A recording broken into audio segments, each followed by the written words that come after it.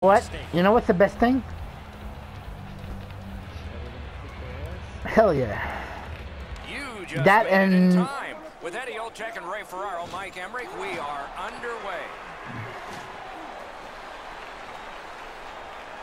Nice standing poke check by Jack.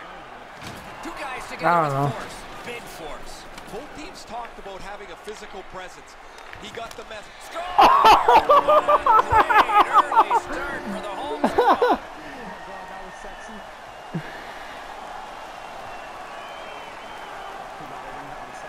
San Jose's gotten the crowd into it early.